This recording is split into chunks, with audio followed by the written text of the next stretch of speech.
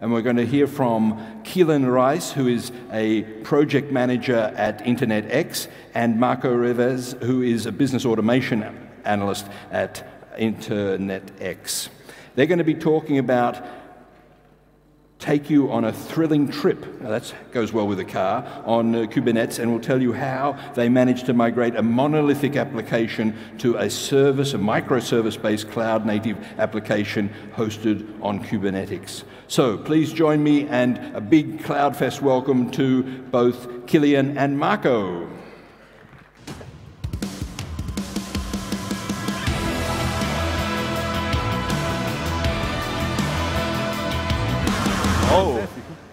Second.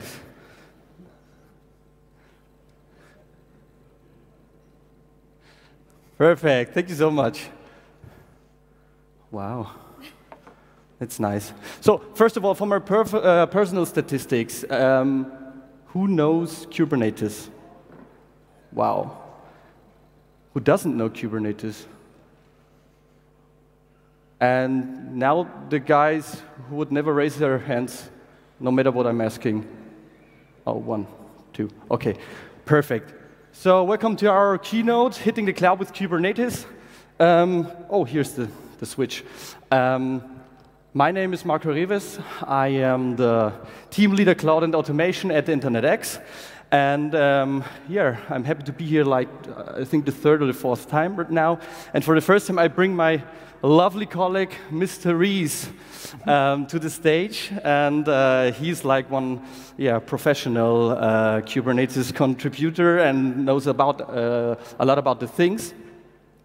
Yeah, so last year, uh, we announced a cool new product, the coolest product for us on the SSL market, Proceed.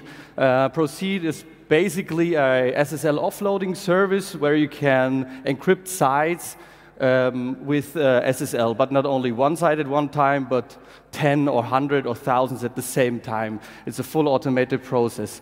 It offers like um, uh, powerful uh, performance tools for our um, service um, it also has uh, optimization tools and caching tools in it. It comes with a worldwide CDN, and it has like dozens of other features. So now you're asking yourself, uh, I'm, I'm waiting here for Kubernetes, and they're talking about the product. No, it's just uh, I want to introduce it because when we uh, uh, created this product, um, we had so many features and feature requests from our product managers, and we were thinking about yeah, what technology do we use that um, matches all these uh, features. So we had two choices. First, we go for a legacy um, technology, or we bring something completely new into the game. And here, then my colleague uh, uh, Kilian came, uh, uh, came into this game, and he um, brought Kubernetes on the table. And uh, to be honest, I haven't, hadn't heard of this before. So it was like two, three years ago. It was very new in the market. So it was uh, new for us, but he explained everything, and it was like, okay, um, we should give it a shot. And we said, okay, we, we will do proof of concept. We were super happy with uh, what it uh, does to the product, product. And so our secure network runs on Kubernetes. So we launched it last year. It still runs on Kubernetes. We're still happy with this. So um, we decided we use Kubernetes for our large customers. And uh, so we created the Run KS, and uh, we're now running a lot of customers on Kubernetes. We cr created like a shared cluster for, for customers, Playground, and uh, and we also created uh, dedicated clouds. But first of all, I guess Kilian will tell you something about Kubernetes, what's, uh, what is actually Kubernetes, and yeah, give us some key facts. Yeah, thanks Marco for the lovely introduction. I'm really happy to be here at CloudFest for the first time speaking about Kubernetes. So many of you have seen our shirts, I think. So what is it? K8S. It's a short term for Kubernetes. It's just K eight letters and a S. Kubernetes. Okay. Crazy. Yeah. uh, Kubernetes is a container orchestration. It is developed by Google. And Google has a lot of experience in running containers because they were running containers in the data center before Kubernetes. They had an internal tool called Borg, and that was their container orchestration, their container runtime. And all that experience, which they collected over the years, flew into Kubernetes. Then, back in 2014, they open sourced Kubernetes on GitHub, and since then, it had a wide range of contributors. I think it was more than 1,600 people daily actively committing on the project. So it's really a, a fast growing community, a big community, and the project is really alive. Kubernetes is also the new standard in running containers, in orchestrating containers. Why is it the new standard? Just because all major cloud providers are supporting Kubernetes, named Google, AWS, Azure, and InternetX. Oh, perfect. Oh, yeah. But, Marco, what's so special about Kubernetes? Okay, thank you so much. Um, uh, like, let us watch on, on three perspectives uh, Kubernetes. The first of all, not for the techies, but for the business guys who uh, our our SWOT enthusiasts. So uh, in the end, uh, Kubernetes should reduce all costs. Um, you have like a small investment because it's all open source. You don't have like licensing uh, uh, costs. You can start developing locally, so you don't have like to, to, to go into invest in, in, in hardware. You can grow flexible because all major, as Kilian said, all major cloud providers um, uh, providing it right now on their platform. Um, you have, all in all, lower risk. And um, in the end, when you implement it right, you will have a dramatically shorter time to market. So it's good for the uh, product managers and for the business owners because you will uh, dramatically increase like your features and products coming out in uh, production. Oh, first, second, first. Oh, sorry. Yeah, like ever. Um, the second perspective is uh, the dev perspective. From a dev perspective, it's like perfect because you can integrate it seamless into your DevOps workflow. You get like more independent from your ops, which is like nice for every uh, developer because you don't have to ask so much for something. And um, it's um, super integrated into all major CI pipelines like uh, GitLab CI. The third perspective is a sysadmin perspective, but I guess you will say something about this. That's my part because I'm more the techie guy, as you just said, and I'm from the sysadmin sector. So, as a sysadmin, what's a container orchestration? What does it for you? I think you have an ocean of containers, and you don't want to know where your containers are running as long as they are running.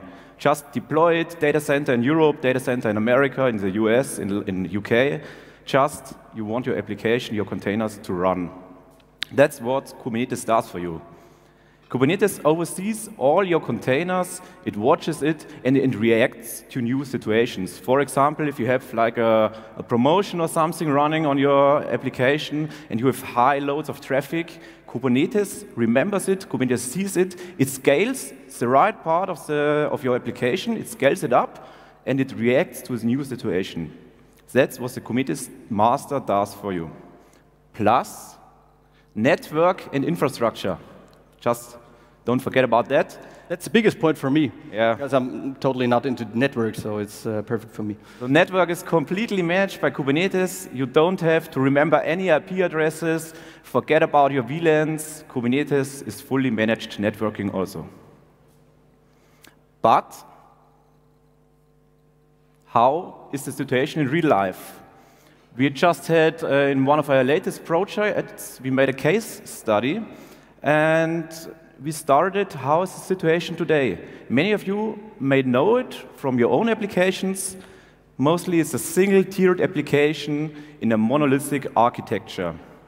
What does it mean?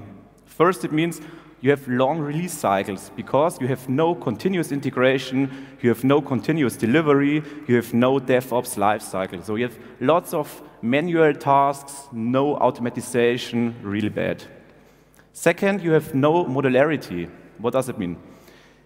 Your application is really hard to understand because it is such a big application and you have really, really, you must try hard to understand the whole application stack, not just a single part. You always have to, to watch the complete application. Then you have no chance to take advantage, advantage of emerging new technologies because you have a long-term commitment to your framework, to your software, to your, I don't know, to your technology stack, which you choose at the beginning of your project. So if you just want to change your PHP version, just update it to 7.1 or 7.2, it's really hard because you have always you must always see the whole architecture. It takes a long time. Then you have massive dependencies, not only in the, in the application, although in the teams which are developing your application. Because the teams have talked to each other, they must organize themselves, they must, hey, can we do this, can we do that, and there's a really, really big overhead. Then it's complicated to scale, complicated scalability. I just talked about it. You can only scale in one direction.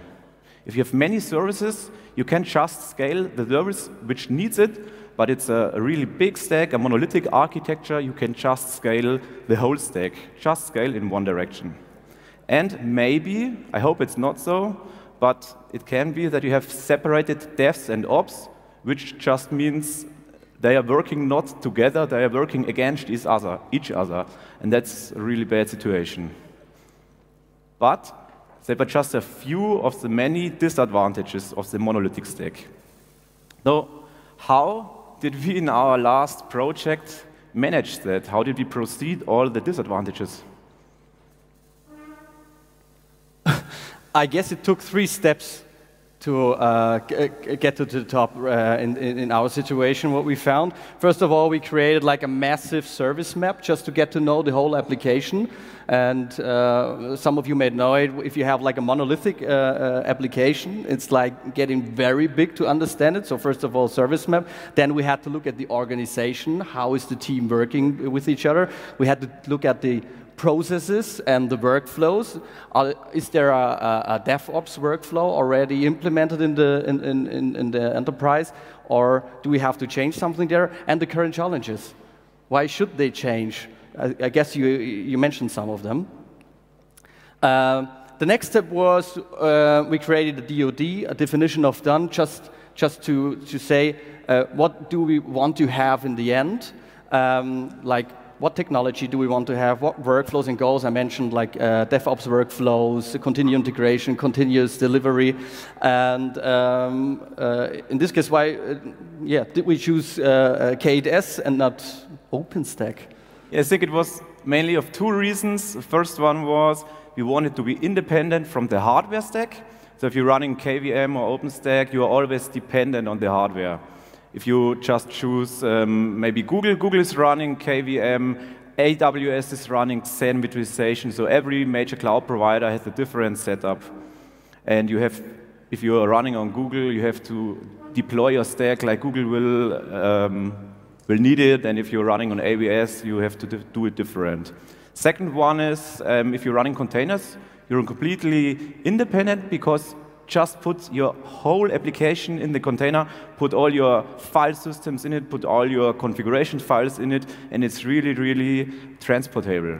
You can deploy the same application on your cloud and on your laptop if you're trying to, to, to bring out new features or just fix some bugs. You have always the same application because you're running the same container on your local hardware as you're running it on the cloud. So you're really, really flexible. You have much flexibility, and you're really independent. Third point was a proof of concept. Uh, uh, it's not about only like uh, proving that the, the, the, software is working right now. I think the, the main reasons why we, we, created the proof of concept was uh, getting credibility in the, in the team and uh, uh putting the team together like that all, is, all guys are running in the same direction. But it wasn't that easy, uh, always, yeah. So as I mentioned, like convincing the team was one of the hardest challenges and convincing the management because it's like some, sometimes it's a hard trail just to go to the DevOps uh, lifecycle and uh, implement uh, Kubernetes into your lifecycle. So that's not so easy as it sounds right now. So it was uh, a big challenge convincing the management just because they're not getting their features, they're not getting products so fast, so they have some months where uh, everything is a little bit slower. So the third point was uh, know-how transfer in, in the company, because uh, you have like ops, you have devs, you have to bring them together to, to build the classic app, uh, DevOps. And the third point was, yeah. Technology, technology transformation. So as hard as you may try, you can't always transform 100% of your monolithic application to cloud services or to cloud microservices. There will always be like 10% of legacy code which you just can't put in a container and run it on the cloud. So you have to think about it, what part of my application can I transform into cloud native services? And the last point, the last challenge was defining bleeding edge best practices because Kubernetes is a really young project it's just starting in Germany and Europe, and you will always, in your project, will always hit a point or a problem which no one has ever solved before. So you have to think about it, what are my solutions for that problem, how can we do that, that it fits for us, and though you have to define your own practices. Yeah, and we started at the monolithic architecture. Where did we came out? We came out at a microservice-based architecture, cloud native. What are the advantages? Have you ever heard cloud native? yes, it sounds nice. Just another buzzword. uh, so, what are the advantages from a microservice-based architecture? Architecture.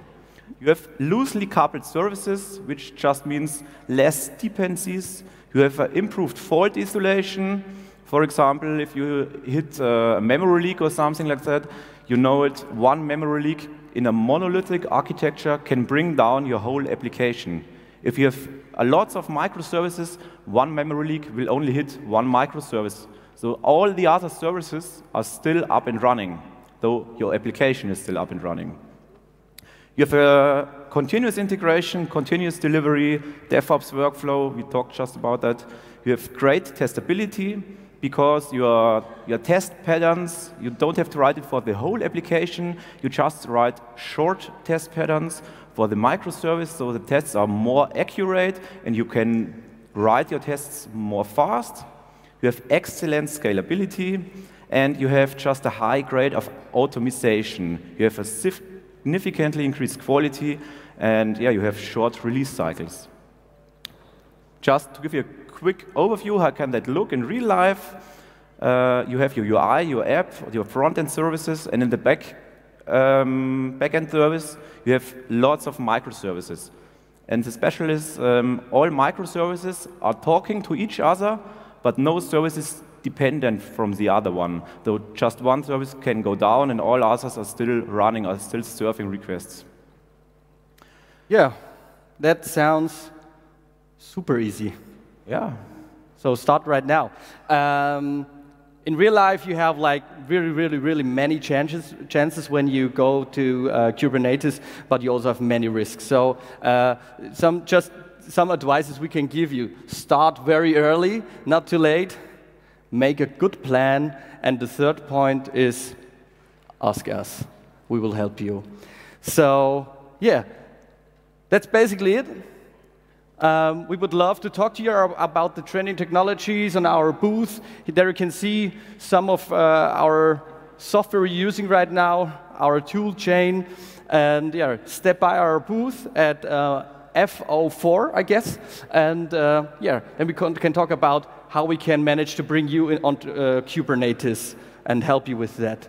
So, thank you very much.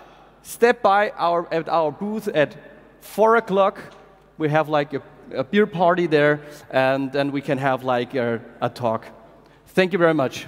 Pio, Pio, oh, have oh, one of those nice shirts, maybe? Just one more thing. we, say one. we have we have a T-shirt for you. A T-shirt, so, yeah.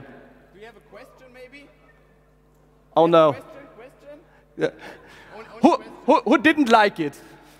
Okay. Oh, there's two hands. It doesn't count. Okay. So, but, but we need a question after that. So take care. Woo! Woo! hey, come to our booth. We'll give you a shirt right now. Okay? Thank you very much. Thanks. Thank you so much. Thank you, Marco. Thank you, Kilian. Run for 8S. Thanks. Thanks. Thank you, gentlemen. Thank you both. Great presentation, and I love the little bit of drama at the end with firing T-shirts into the audience. What will they think of next?